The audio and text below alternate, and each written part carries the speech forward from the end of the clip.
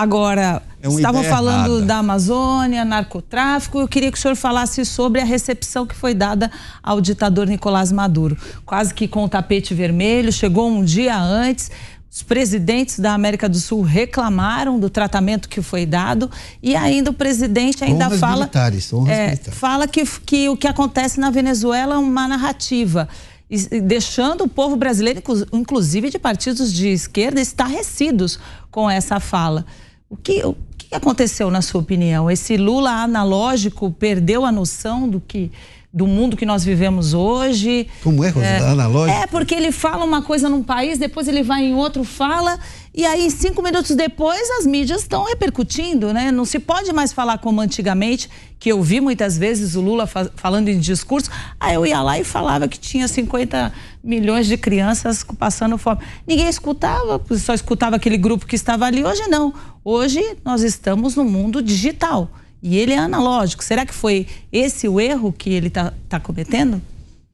Deputada, as relações de Estado não são relações ideológicas. Se fossem relações ideológicas, nós não teríamos parceria com a China, por exemplo, que é o, maior nosso, é o nosso maior parceiro econômico, comercial, tecnológico, é com quem nós fabricamos satélites, inclusive, e é um país dirigido por, pelo maior partido comunista do mundo, tá certo? Com as suas regras, com os seus métodos. Nós não nos relacionamos enquanto Estado com o Partido Comunista Chinês. Isso aí é a relação dos partidos. E, aliás, acho que todos eles no Brasil se relacionam com o Partido Comunista Chinês.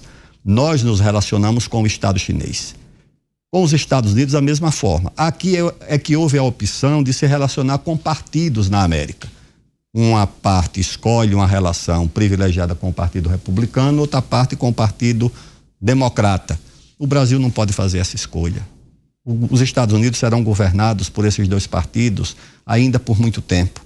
Nossas relações não podem depender da boa vontade de democrata e republicano. Nós temos que ter boas relações com os Estados Unidos, que é o nosso vizinho mais importante de hemisfério. E com a Venezuela, do mesmo jeito. Quem escolhe o governo da Venezuela é o venezuelano. Nós temos 2.200 quilômetros de uma fronteira problemática com a Mas, mas Venezuela. ministro, ninguém está falando de relações comerciais. Nós estamos um falando exagero ali de ideologia, realmente, porque ele disse que isso foi uma fala dele, abre aspas, o que acontece na Venezuela, o que o povo pensa da, da Ela está se Venezuela. referindo à frase, é, exatamente. É que- uma narrativa, ele, que ele usou. havia repressão, a ditadura é Tanto só que narrativa. levantou, levantou né, a discordância de diversos partidos, diversas pessoas de esquerda. Eu também. vi, eu acompanhei a contestação, isso virou uma guerra nas redes sociais. Em primeiro lugar, ele deveria convidar o presidente Maduro para participar da reunião dos presidentes da América do Sul? Claro que deveria. Um dia antes, não.